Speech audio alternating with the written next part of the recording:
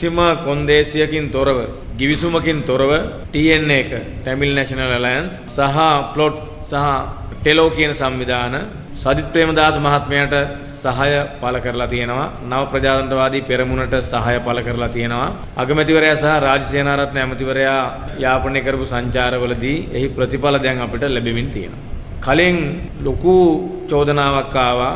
උතුරු නැගෙනහිර ඉල්ලීම් 13කට ඉල්ලීම් 13ක ගිවිසුමකට එකඟ වෙන්න ඕන කියන කාරණයක් එක්කයි මේ සහයෝගය බල කරන්න ලෑස්ති වෙන්නේ. අපි දැක්කා පොහොට්ටුවේ සමහර ප්‍රධානියෝ කියනවා අපිට නම් ওই කොන්දේසිත් එක්ක කිසිම සහයෝගයක් එපා. ඒ වගේ බරපතල විවේචන එල්ල කරනවා. ඒගොල්ලෝ දන්නවා ඒගොල්ලෝ සහයෝගය කොහොමත් හම්බ වෙන්නේ නැහැ කියලා. ඒක නිසා තමයි විවේචන එල්ල කරේ. සමහර ස්වාමීන් වහන්සේලාත් ඒ ගැන විරෝධය පළ කරමින් තිබුණා. අපි කලින් කියපු විදිහටම අපේ ගෙවල වල ළමයි වුණත් ඉල්ලීම් දානවා. ඉල්ලීම් දැම්මට ඉතින් අපිට හැමදේම ක්‍රියාත්මක කරන්න බෑ.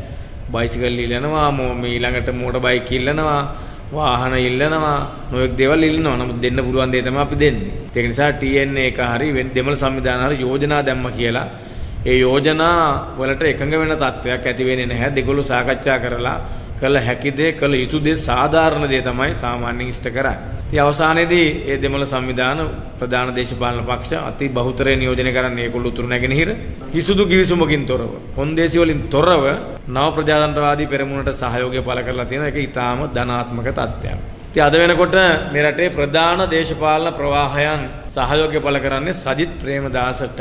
ජාතික හෙළ උරුමය අනිත් පැත්තෙන් ප්‍රධාන මුස්ලිම් පක්ෂ දෙක අනිත් පැත්තෙන් දෙමළ ප්‍රජාව නියෝජනය කරන TNA එක, ටෙලෝ එක, ප්ලොට් එක, අනිත් පැත්තෙන් වතුකරය නියෝජනය කරන දිගම්බර මහත්මයාගේ දේශපාලන ප්‍රවාහයේ පක්ෂය සම්පූර්ණ සහයෝගය පළ කරලා තියෙනවා. ඒ වගේම කොළඹ සහ වතුකරය නියෝජනය කරන මනෝ ගණේෂන් මහත්මයාගේ ප්‍රධාන දේශපාලන පක්ෂ සම්පූර්ණ සහයෝගය පළ කරන්නේ නව ප්‍රජාතන්ත්‍රවාදී පෙරමුණට සජිත් ප්‍රේමදාස මහත්මයාට. ඉතින් ප්‍රධාන දේශපාලන පක්ෂ ඉන්නේ කොහෙද කියන කාරණේ ඉතාම පැහැදිලියි.